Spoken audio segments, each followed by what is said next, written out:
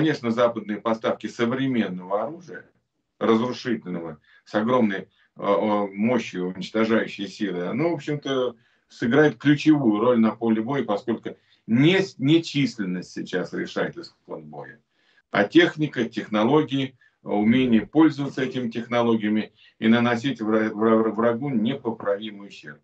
Ну что там, вот сейчас опять данные разведки. Ну хорошо, там ну, украинцы говорят там с такой, ну данные разведки, да, вот вроде объективно дают, говорят, что 100, там, почти 188 тысяч э, безвозвратные потери российской армии, дают, правда, большую цифру украинской армии, то что около 100 тысяч, и плюс там гражданских 30 тысяч, тоже очень много народу. Ну, если верить разведкам Запада, на норвежской, да, сегодня давала такую данную, вчера такие данные дала. Но все равно 200 тысяч положить за 11 месяцев. Ребята, разделите там вот эту цифру там, на 11 месяцев, вы получите в среднем э, э, среднюю гибель в день на этой войне. И это без той, без той армады оружия, которую готовы сейчас Запад поставить. Ну, это да. еще вот то оружие в том количестве. Уже перемолол там по 100, почти 190 тысяч, если верить разведке, да? А что будет, когда вот эти штуки все пойдут в бой? Там даже эти танки Т-72Б, которые 20 штук Марокко поставил, никто не заметил. Они, оказывается, воюют, там особо никто их не заметил. А сейчас будет еще 100 танков таких, 100 танков таких, 20 таких, 12 таких, 36 таких. Вы что делать-то будете?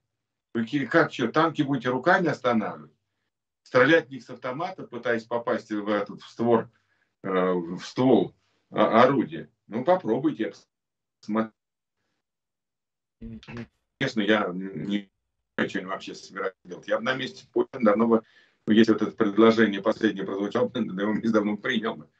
Потому что все будет остальное хуже. Остальное будет хуже все. Я все время говорю, что у него два выхода. Очень плох, плохой и очень плохой. Вот он должен выбрать какой-то один из них.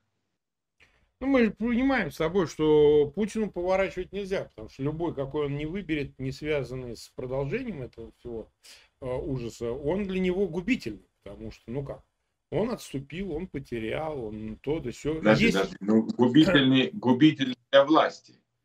Но Байден он может а... попросить личных гарантий? Может. Я думаю, что ему такие а личные гарантии он не верит, дадут. он не поверит. Ему дадут 100 гарантий, а потом их нарушат. Ну, это же очевидно.